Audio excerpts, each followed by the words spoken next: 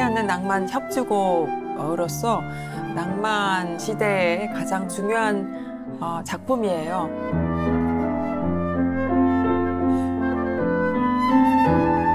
오케스트라랑 하는 거기 때문에 더군다나 이게 과장되지 않으면 굉장히 단조롭게 보일 수 있거든. 그러니까 유명한 사람이 한다고 그 스타일이 아니라 자기만의 그 루버트를 찾으면 좋을 것 같아.